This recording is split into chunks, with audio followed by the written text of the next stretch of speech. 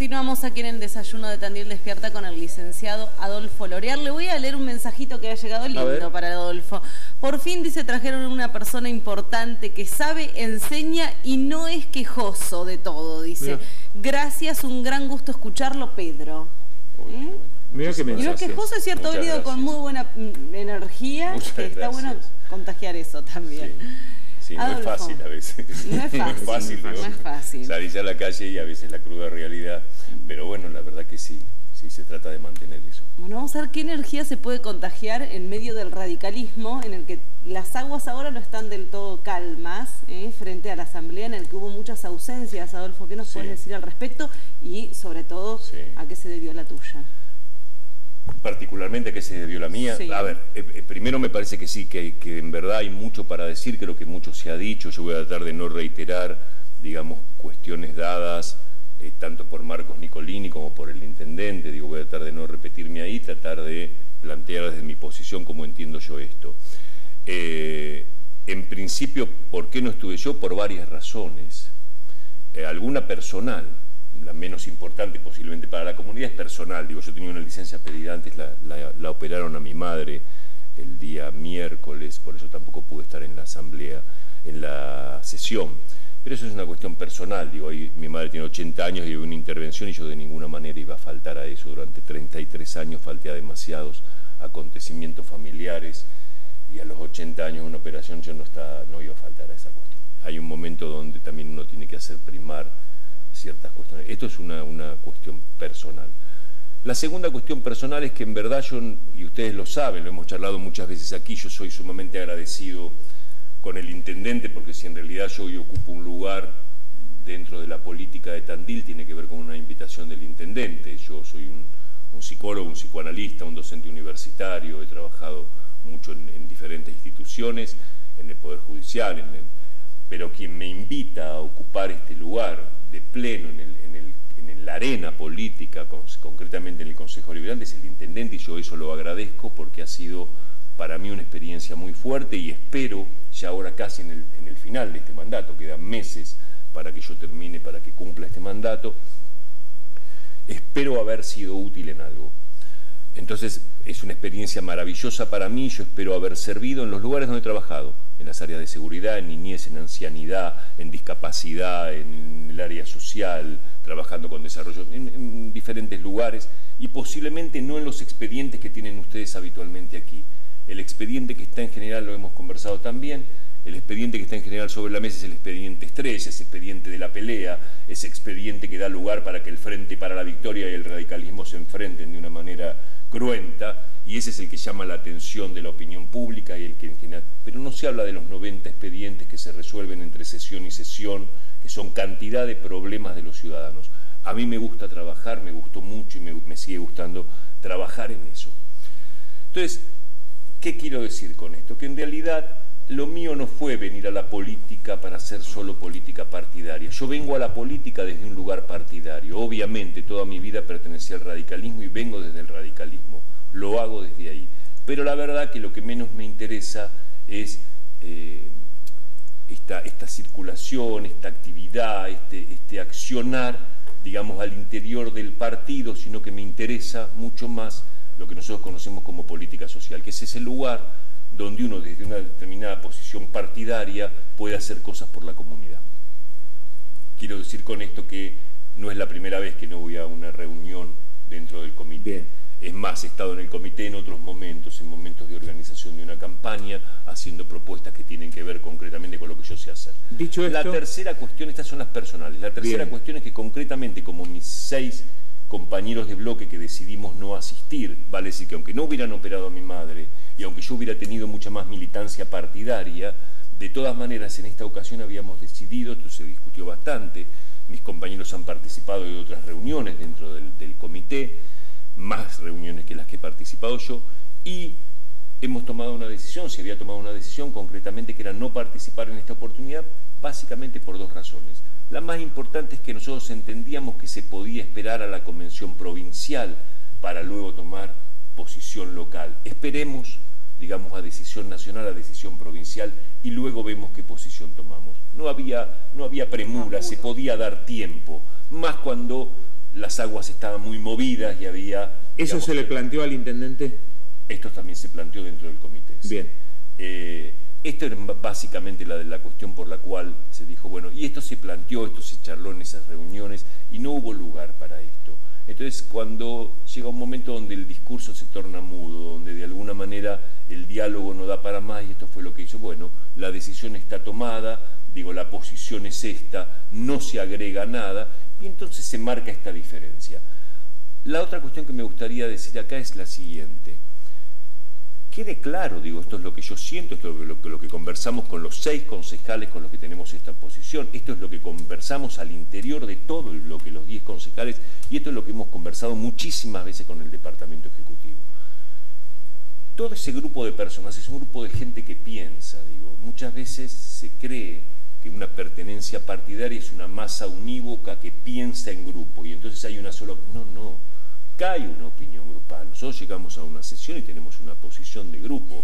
Pero, eh, Adolfo, eso, perdóname, eso no es algo, no era algo habitual hasta este momento en el Comité Radical, si bien había hacia adentro diferencias, algunas expuestas, otras no, pero no estábamos acostumbrados a que el intendente de alguna manera tomaba decisiones y todos se alineaban abajo de ello. No, yo creo que en todas las épocas ha habido espacios de, diferencias, ha habido otros enfrentamientos importantes, ha habido otras diferencias importantes. El intendente es un hombre que escucha mucho, nosotros hemos tenido muchas conversaciones, es un hombre que escucha y que, y que es abierto a opinión, yo he opinado sobre temas con él y yo sé que él ha considerado eso y lo ha tomado en cuenta y en otras oportunidades es un hombre con decisión y con personalidad y sostiene una postura. También es cierto que, a mi gusto, o al menos en lo que yo entiendo, Miguel tiene una forma de, liderazgo que es la forma de liderazgo más paternalista, que es una forma que respondió durante muchos años y que responde aún, digamos, a cierta intención de la comunidad. Hay una comunidad que se siente mucho más cómoda con ese líder. De hecho, que por ejemplo la figura de Cristina Kirchner ha sido absolutamente así, un líder mesiánico, un líder que dice esto es así, se terminó la historia, y hay una población que se siente muy cómoda. Digo, ¿Ves que hay elementos comunes entre el intendente y la ex... El, presidente ¿Pero ves elementos comunes eh, en este sentido entre el intendente y la expresidenta? No, veo, veo como común, digamos, a, lo que fue el accionar, digamos, en política y lo que es el accionar en la democracia, de cierto liderazgo, que es un liderazgo con mayor carga de autoridad. Digo, la autoridad está puesta en una figura y me parece que va habiendo un movimiento y que es lo que de alguna manera ofrece, digamos, o lo que propone, lo que se propone ya desde la campaña y desde lo que fue la organización del movimiento Cambiemos, donde se integra la coalición cívica, el radicalismo, el PRO, que tiene que ver con que el liderazgo, con que el acto democrático tiene que ver con la participación de muchos, con que la decisión no está puesta en uno. Entonces podemos ver, digamos, incluso el movimiento, yo espero que no se siga haciendo ese movimiento, a mi gusto, porque me encanta que ese liderazgo sea realmente compartido Macri se ofrece, digamos, pensando un país entre todos. Y resulta que la gente aplaude cuando el tipo aparece después del primero A con una decisión más fuerte. Bueno, ahora entonces, es decir, la misma gente pide que se personalice, que se unifique, digamos, o que se ponga en una sola persona esa figura de autoridad. Yo prefiero otro formato, que me gusta mucho más esta mesa de integración. Y ahí quiero decir algo más respecto de demistificar diga, esta cuestión de la pelea y la fractura y entonces ya hay una oposición y entonces lo ponemos a Nicolini enfrentado con el intendente. Digo, la verdad es que este es el juego de la democracia. me parece que tenemos que acostumbrarnos a que la discusión, la diferencia es parte Pero no estábamos acostumbrados a verlo dentro del radicalismo local en los últimos años. Claro, pero el radicalismo local, como todo el radicalismo, mantiene algo que es su esencia, la quinta esencia, que es en definitiva, digamos, todos estamos trabajando desde una identidad definidamente radical. Y está bien que así sea. Esta es la identidad, más allá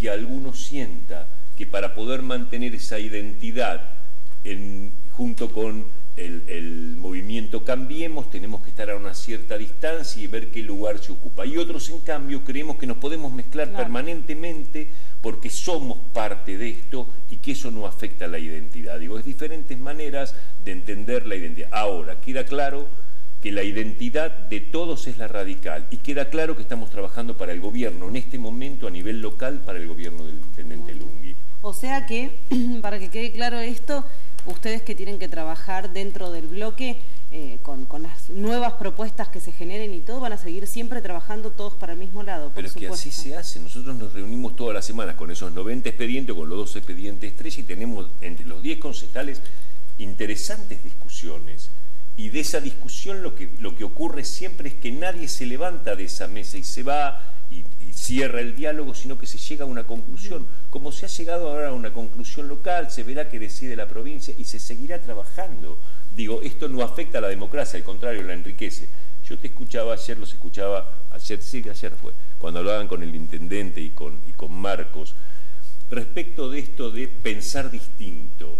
y decía, esto va más allá Digo, es mucho más importante la posibilidad de pensar distinto, porque precisamente la diferencia es la que permite construir un paso más. Si nosotros los humanos no hubiéramos hecho diferencias, seguiríamos viviendo como las hormigas, igual que en la Edad Media, no hubiera habido cambio.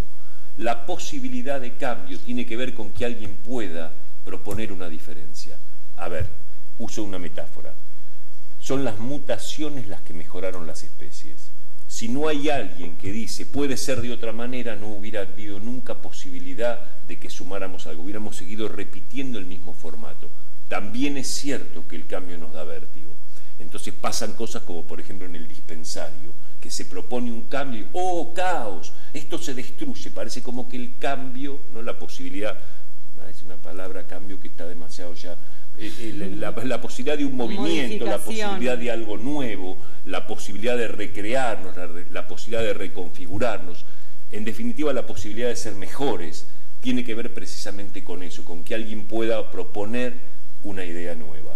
Y en este sentido me parece que todos sumamos a ese radicalismo y a ese radicalismo y todos sumamos, digamos, a la posibilidad de un radicalismo mejor para un país mejor me acordaba un elemento más.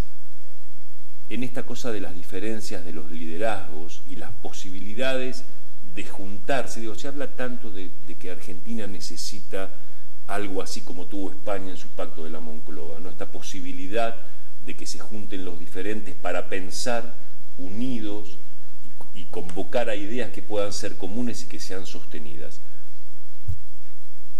¿Qué lugar ocupamos los radicales? en este, en, esta, en este movimiento junto a la coalición cívica El Ari, Elisa Carrió, junto a la gente del PRO. Es más abarcativo todavía. Nosotros estuvimos hace unos meses atrás con Alejandra Marcieri, la secretaria de Desarrollo Social del municipio, en la provincia, bajando programas para Tandil que tienen que ver con desarrollo social. Y el ministro dijo, yo vengo del peronismo.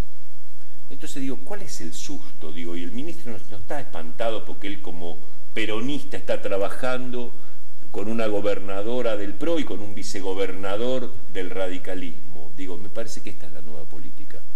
Podemos juntarnos, podemos trabajar juntos, porque hay una causa común, que es el bienestar general, que es de lo que se olvidó muchísimo tiempo la política. Y entonces trabajamos y nadie pierde su identidad. Y nadie pierde su identidad. El peronista es peronista, el radical es radical, el del PRO es del PRO juegan los egos, las inseguridades, un montón de cosas de cada una de las personas que conviven también dentro de un partido y tienen que convivir con otros. ¿no? Entonces el ego tenemos un bloque entero, digo, me da hasta el mediodía. El ego terminó, entero y es un problema que tenemos los argentinos serios. Se terminó, se terminó el tiempo. Si querés lo sintetizamos. eh, estamos, estamos demasiado cerrados en nosotros mismos. Yo creo que la salud y el bienestar tiene que ver con mirar para afuera y me parece que el argentino en este momento se mira el ombligo el ego es esto, digo, cada uno mira su propio territorio, digo, yo barro mi casa y tiro la mura en la vereda. Mm. Entonces el, espacio común se ha transformado en una jungla, en un espacio descuidado. Y me parece que la propuesta, lo que nosotros, hacia donde nosotros tenemos que ir, nosotros digo los argentinos, es a poder cuidar el espacio común y a poder mirar al otro como cuidamos el espacio propio de nosotros mismos. A ver, usando una expresión bíblica sería ama a tu prójimo como a ti mismo.